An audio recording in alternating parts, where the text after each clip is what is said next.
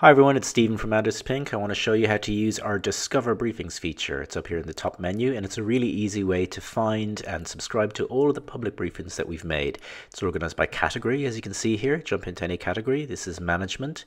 Here's all our briefings about management. I jump into corporate strategy as one example briefing and I say if I like the look of this I'll just subscribe to it which I can do either personally or as a team. I'm going to subscribe my team to it. So as soon as I do that, I go into team briefings and there it is, corporate strategy. Now I'll get updated content every few hours on corporate strategy. Also in Discover, you can just search for a word. So I'm going to type in marketing. Here's the briefings available on marketing. Click on any one of them to subscribe. That's Discover.